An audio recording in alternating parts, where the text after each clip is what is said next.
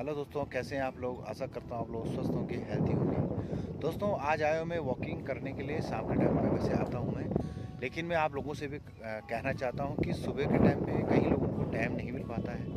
क्योंकि busy schedule के कारण लोग नहीं आ पाते हैं। तो शाम के टाइम पर अगर आपको टाइम मिलता है, दोस्तों, अपने कम से कम मैंने पहले यही कहा था कि सबसे इम्पोर्टेंट हमारी खुद का हेल्थ है। अगर हमारा हेल्थ अगर सही है तो सब कुछ सही है। तो इसलिए मैं कहना चाहता हूँ तो इसके लिए ज़रूरी है कि आप लोग वॉकिंग कीजिए। और वॉकिंग बहुत ही इंपॉर्टेंट है इससे ब्लड सर्कुलेशंस और आपकी जो ब्लड का सर्कुलेशन सही होता है और अपनी खुद की जो एक्टिविटी रहती है जैसे कई लोग ऐसे होते हैं जो ऑफिसों में या ऐसे वर्क करते हैं जो में कहीं मतलब आ, मतलब कोई मूवमेंट नहीं होती तो तो उस मूवमेंट को कंप्लीट करने के लिए या कि अपनी बदन को मतलब फ्लेक्सिबिलिटी या एक्टिव करने के लिए आपको वॉकिंग करना बहुत ज़रूरी है। तो मैं यही कहना चाहता हूँ कि आप लोग शाम के टाइम पे कम से कम अपने के लिए आधा घंटा ज़रूर निकालें, क्योंकि जिस इंसान ने अगर अपने के लिए ये आधा घंटा निकाल लिया तो मैं सोचता हूँ कि वो कम से कम अपनी बीमारियों से जो हमारे पास उनसे दूर रह सकता है और हेल्थी हो सकता है। तो यही है कि तकरीबन थोड़ा मेहनत तो करनी होगी दोस्तों तो आप ज़रूर वॉकिंग कीजिए और अपने अपने लाइफ को एक सुंदर शेड्यूल बनाइए और तकरीबन मैं ये फिर कहना चाहता हूँ कि आप उन रोडों पे वॉकिंग कीजिए जो कि मतलब काफ़ी वैसी रोड हो, जैसी मतलब बिज़ी रोड हो, जिसमें कि ट्रैफ़िक चलता हो या मतलब पॉल्यूशन हो। क्योंकि जब आप वॉकिंग करते हो तो उस वॉकिंग से क्या होता है कि जब आप वॉकिंग कर रहे हैं तो या रनिंग कर रहे हैं तो तकरीबन उसमें गाड़ियाँ, मोटर ज़्यादा उनकी एक्टिविटी ज़्यादा है तो आदमी को जो वॉकिंग करता है, उसको तो काफ़ी प्रॉब्लम होती है। फिर उसके बाद जब वॉकिंग करने के बाद आते हो, तकरीबन आप अपनी स्ट्रेचिंग मैंने पहले भी एक, पहले वाली वीडियो में बताया था। आप अपनी स्ट्रेचिंग वगैरह, जो भी, आप जितना आपसे हो सके नॉर्मली करो और अपने लाइफ को सुंदर बनाइए हेल्थी रहिए। नमस्ते दोस्तों, जय हिंद। हेलो दोस्तों, कैसे हैं आप लोग? आशा करता हूँ आप लोग स्वस्थ होंगे हेल्थी होंगे।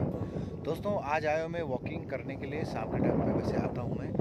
लेकिन मैं आप लोगों से भी कहना चाहता हूँ कि सुबह के टाइम पे कई लोगों को टाइम नहीं मिल पाता है, क्योंकि बिज़ी शेड्यूल के कारण लोग नहीं आ पाते हैं। तो शाम के टाइम पर अगर आपको टाइम मिलता है, दोस्तों, अपने कम से कम मैंने पहले यही कहा था कि सबसे इम्पोर्टेंट हमारी खुद का हेल्थ है।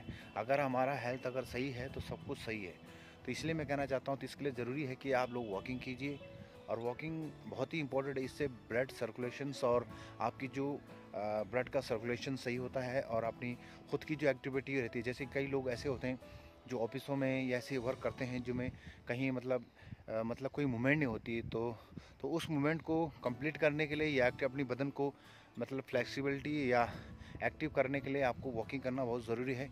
तो मैं यही कहना चाहता हूँ कि आप लोग शाम के टाइम पे कम से कम अपने के लिए आधा घंटा ज़रूर निकालें क्योंकि जिस इंसान ने अगर अपने के लिए ये आधा घंटा निकाल लिया तो मैं सोचता हूँ कि वो कम से कम अपनी बीमारियों से जो हमारे पास, उनसे दूर रह सकता है और हेल्थी हो सकता है।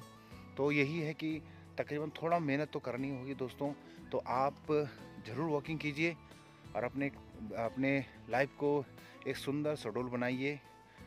और तकरीबन मैं ये फिर कहना चाहता हूँ कि आप उन रोडों पे वॉकिंग कीजिए जो कि मतलब काफ़ी वैसी रोड हो जैसी मतलब बिज़ी रोड हो जिसमें कि ट्रैफ़िक चलता हो या मतलब पॉल्यूशन हो। क्योंकि जब आप वॉकिंग करते हो तो उस वॉकिंग से क्या होता है कि जब आप वॉकिंग कर रहे हैं तो या रनिंग कर रहे हैं तो तकरीबन उसमें गाड़ियाँ मोटर ज़्यादा एक, उनकी एक्टिविटी ज़्यादा है तो आदमी को जो वॉकिंग करता है उसको तो काफ़ी प्रॉब्लम होती है। फिर उसके बाद जब वॉकिंग करने के बाद आते हो तकरीबन आप अपनी स्ट्रेचिंग मैंने पहले भी एक पहले वाली वीडियो में बताया था आप अपनी स्ट्रेचिंग वगैरह जो भी आप जितना आपसे हो सके नॉर्मली करो और अपनी लाइफ को सुंदर बनाइए हेल्थी रहिए। नमस्ते दोस्तों, जय हिंद।